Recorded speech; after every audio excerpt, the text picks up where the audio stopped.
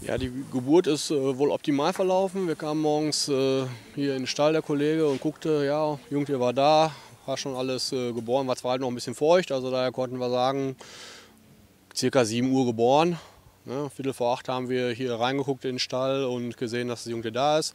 Ja, und dann haben wir dann erstmal halt Bescheid gesagt, dass ein Jungtier da ist, haben dann darum gebeten, noch eine äh, Person mehr dazu zu bekommen als Mitarbeiter, dass man äh, den abstellen kann, um zu beobachten, was passiert, weil äh, äh man sicher gehen muss, dass die Jungtiere dann auch selbstständig aufstehen, beziehungsweise dann auch langsam mal äh, nach sechs bis acht Stunden äh, das erste Mal versuchen, selbstständig zu trinken.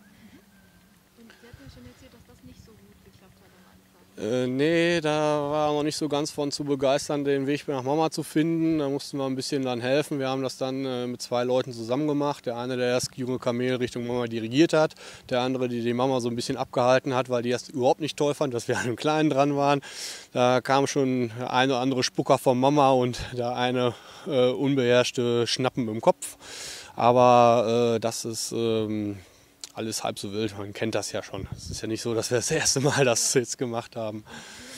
Ja, wir haben äh, mit dem Kopf Richtung äh, Zitze dirigiert und äh, als wir in der Zitze waren, so ein bisschen die Zitze auch äh, ähm, angemolken, dass wir ein bisschen Milch kriegten, diesen Geschmack dann dem Jungtier ins Maul gegeben, dass er halt äh, äh, geschmacklich schon mal weiß, wenn er über Nacht oder über Tag bei Mama nochmal versucht, äh, zu trinken und dann diese Zitze erwischt, dass er diesen Geschmack merkt, oh, das ist genau passend und dran bleibt, um halt äh, die Milch aufzunehmen. Ne? Und das hat dann nach ein paar Tagen gut funktioniert, dass er wusste, wie es ging. Nein, Namen hat er noch nicht. Da sind wir noch äh, dabei. Wir haben einen Wettbewerb ausgeschrieben, dass äh, sich die Kinder oder Erwachsenen, wie sie wollen, einen Namen aussuchen, dass sie äh, einschicken und wir dann quasi daraus wohl den Namen aussuchen, sodass dann wahrscheinlich Ende der Woche da ein Name sein wird, wo dann eine Taufe ist.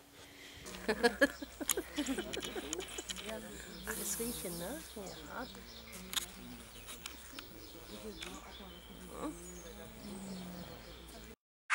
Ja.